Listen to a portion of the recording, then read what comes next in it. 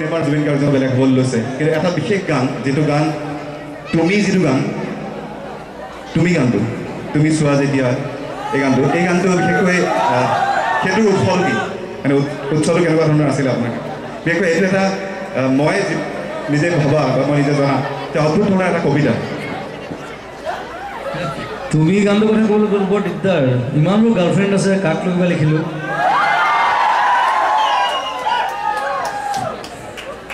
নাই তেনেকুৱা কথা নহয়। তুমিতো এটা স্বতঃস্ফূৰ্তভাৱে অহা কবিতাৰ নিচিনাই আছিলে প্ৰথমতে আচলতে।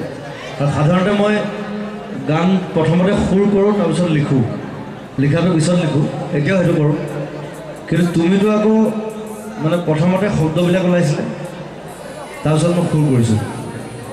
এইটো উল্টা প্ৰচেছ যিটো মই নকৰোঁ সাধাৰণতে আৰু খুব ভাল নাপাওঁ যিটো কৰি। চ' সেই তেনেকৈ অলপ কবিতা গান আৰু কমপ্লিটলি কবিতা কবিতা লগা গীতি কবিতা। কমপ্লিট গীতি কবিতা আছে গানেই সেইটো মেঘৰ বৰ্ণ আছে? মেঘৰ বৰ্ণ। মেঘৰ বৰ্ণ আছে আছে। চ' মেঘৰ বৰ্ণৰ পাছত আকৌ এতিয়া যেতিয়া জুবিন গাৰ্গে বেছিকৈ কবিতা লিখিবলৈ লৈছে সেইবাবেই চাগে আপুনি নিজে অনুভৱ কৰিছে যে মা এলবামটোত যিবিলাক গান আপুনি লিখিছে এতিয়া তাত সেই কবিতাময়তাৰ গীতিধৰ্মিতাটো বহুত বেছি হ'বলৈ বেছি। তাই তিনিটামান তই লিখিছে মানে মা এলবামটো তিনিটামান গান সেই লিখি লিখিছে। এই চাৰিটা মই লিখিছোঁ। এটা এটা বোধহয় ৰাহুলে লিখিছে মই দুটা অঁ, লিখিছোঁ। নহয়। মই দুটা হ'ব। অঁ, এই দিয়া দুটা বোধহয় দুটা লিখিছে।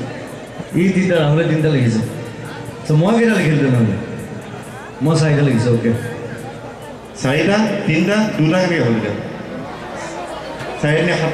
এইবাৰ আঠটা হ'ল নটা হ'ল নটা গান হ'ল নটা কেইটা এলবাম মই আজিলৈকে কৰা নাই। আঠটা কৰোঁ। আৰু ৰক এলবাম কৰিছিলোঁ চৈধ্যটা গান আছে এইটো হায়েষ্ট আছিলে এইবাৰ নটা গান কৰিছোঁ ভাল ভাল গান শুনিবলৈ পাব। বয়সটো বিশেষকৈ সংগীতৰ বয়সটো বহুত বেছি হৈ গ'ল পঁচিছ বছৰ গতিকে গানবোৰ বাঢ়ি বাঢ়ি গৈ আছে সেইকাৰণে এলবামবিলাকত। চ' এলবাম বিশেষকৈ মাহটো এক তাৰিখে ৰিলিজ কৰিব সেইকাৰণে মই উলিয়াই লৈছোঁ। অঁ কোন কোন? আৰ জে তন্ময়ৰ আহ, এইখিনি সময়ত দুবিধা। সকলোৱে চিনি পায়? সকলোৰে চিনাকি? এগৰাকী এগৰাকী বিশেষ ব্যক্তি এটা আছে মই নামটো কৈ দিম। যাক জুবিনা যাক ঘৰত লেডি জুবিন গাৰ্গ বুলি মাতে। লেডিজ উইংগাৰ লেডি জুবিন সেই বুলিয়ে ঘৰত মাতে। আৰু সেইগৰাকী হৈছে মনালিছা শইকীয়া বা মনালিছা বা